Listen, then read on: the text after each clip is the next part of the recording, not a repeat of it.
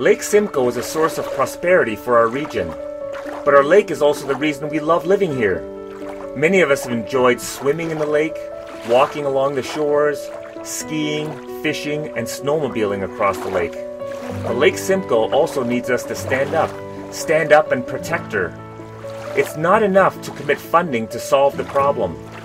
Protecting the Lake Simcoe watershed requires a comprehensive approach that takes into account the harmful impacts of climate change. Without a real climate action plan to protect our forests, wetlands, and our lake, funding is just a band aid solution. We need a federal member of parliament who recognizes that protecting Lake Simcoe for future generations requires bold action now. Who understands that we need to listen to and learn from community groups on the front lines. I'm Pekka Reinio, NDP candidate for Barrie Innisfil. As your MP, I will work with all levels of government to clean up and protect our lake and its watershed for future generations.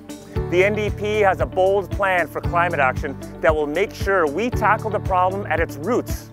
Let's look out for Lake Simcoe like we look out for each other here in Barrie and Innisfil.